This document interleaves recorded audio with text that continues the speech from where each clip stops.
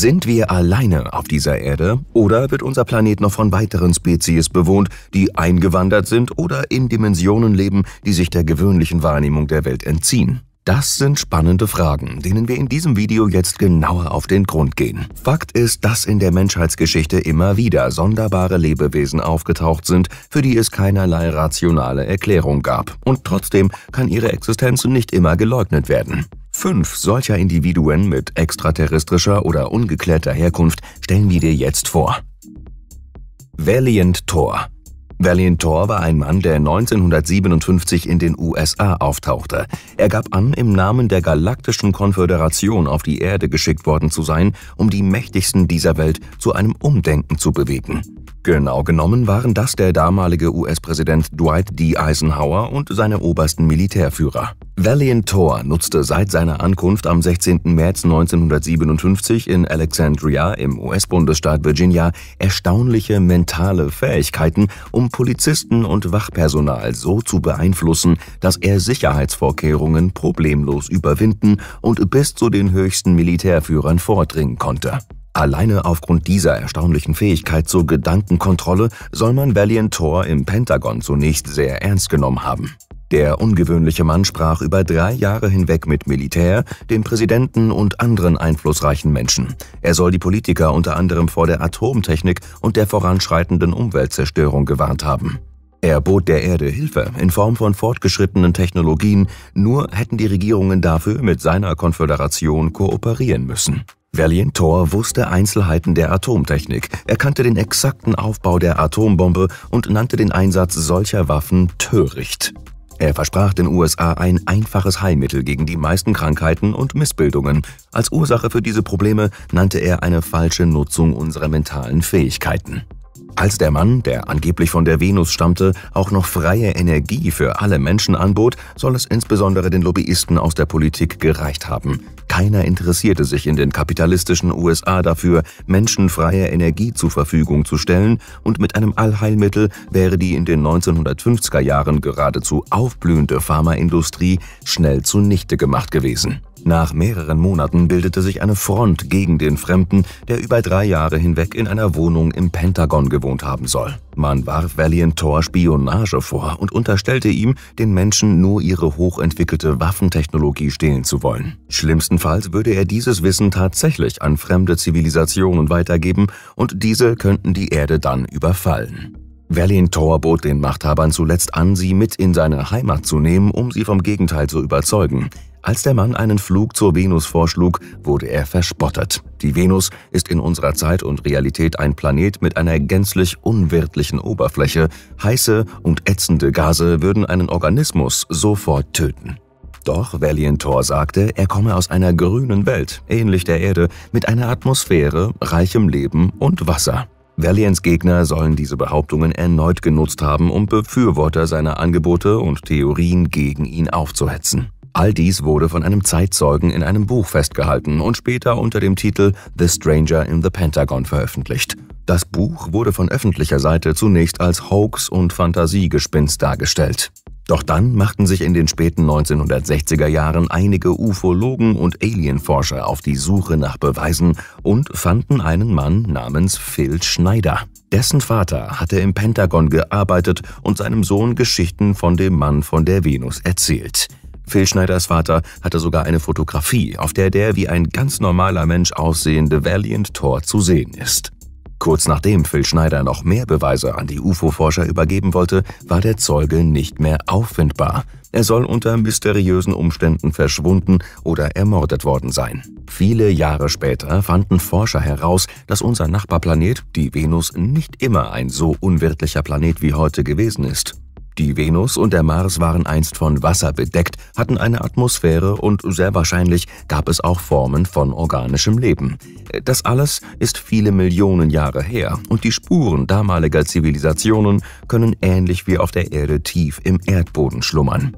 Es wäre also durchaus denkbar, dass Valiant Thor nicht nur von einem anderen Planeten, sondern auch aus einer anderen Zeit oder Dimension zu uns gereist ist. Ebenso ist es denkbar, dass die Menschen einst von der Venus oder vom Mars auf die Erde gekommen sind, was erklären würde, warum Valiant Thor wie ein ganz normaler Mensch ausgesehen hat. Der Botschafter von der Venus ist nach seinen gescheiterten Verhandlungen mit den Erdlingen Ende der 1950er Jahre wieder verschwunden.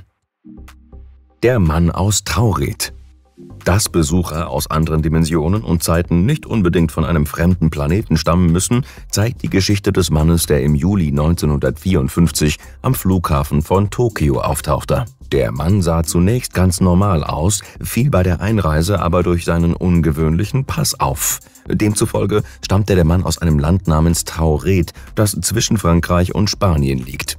Der Pass des Mannes zeigte zudem, dass er bereits mehrmals nach Japan eingereist war. Außerdem hatte der französisch sprechende Mann mehrere Währungen bei sich. Die Einwanderungsstelle hatte noch niemals zuvor von einem Land namens Tauret gehört und ließ den Fremden zunächst festsetzen. In den kommenden Stunden stellten die japanischen Behörden Nachforschungen an und befragten den Mann mehrfach zu seiner Herkunft. Er blieb dabei, aus Tauret zu stammen, das seinen Beschreibungen zufolge mit dem Stadtstaat Andorra identisch war. Die Firma, zu der er in Tokio reisen wollte, existierte ebenso wie das Hotel, in dem der fremde Reisende angeblich ein Zimmer gebucht hatte. Trotzdem kannte man den Mann im Hotel nicht. Es lag auch keine Buchung vor.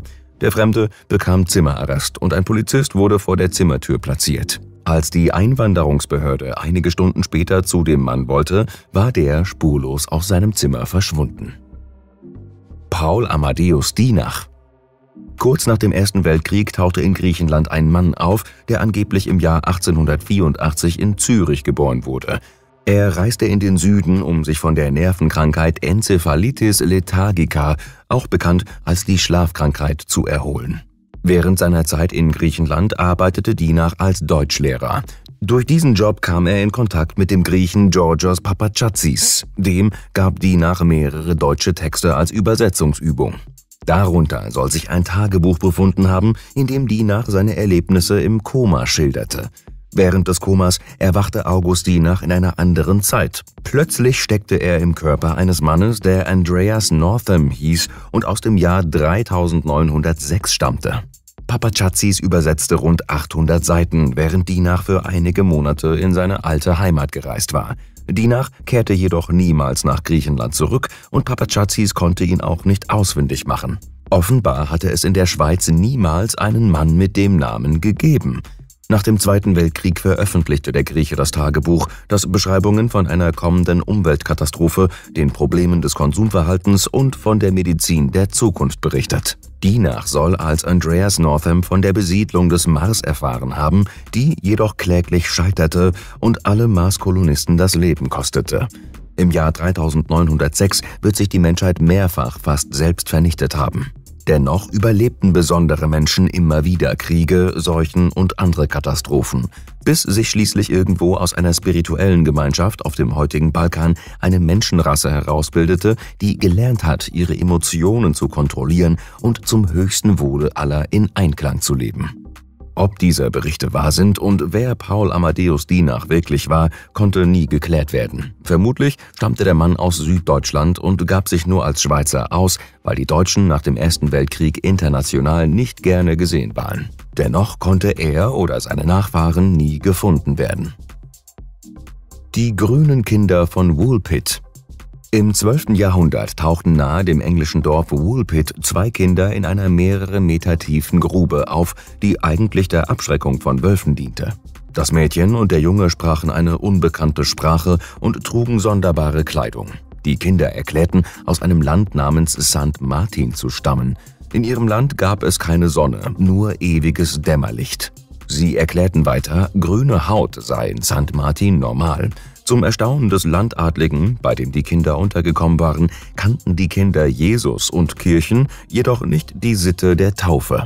In die Wolfsgrube waren sie gelangt, nachdem sie in ihrer Welt beim Viehhirten neugierig in eine Höhle gelaufen seien. Auf der anderen Seite fanden sie sich in der Wolfsgrube wieder und der Weg zurück war plötzlich nicht mehr da.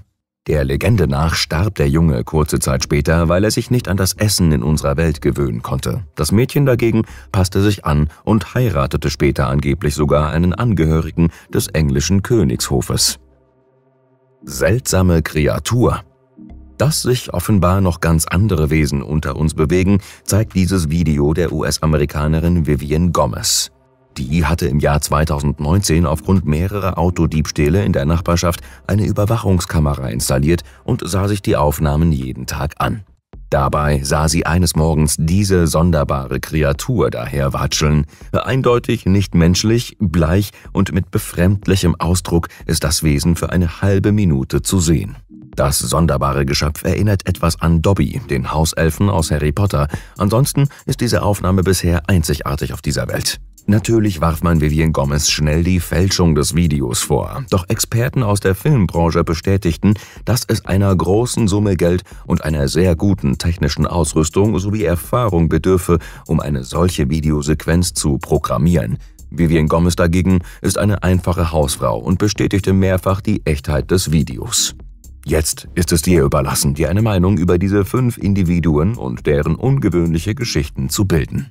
Glaubst du, dass alle diese Erscheinungen von Menschen aus anderen Welten oder befremdlichen Wesen eine gemeinsame Sprache sprechen und Hinweise für die Existenz uns bisher unbekannter Dimensionen und Zeiten sind? Oder glaubst du an Fälschungen, Hoaxe und Wichtigtuerei? Lass es uns wissen und teil deine Meinung zum Thema mit uns unten in den Kommentaren. Wir sind gespannt.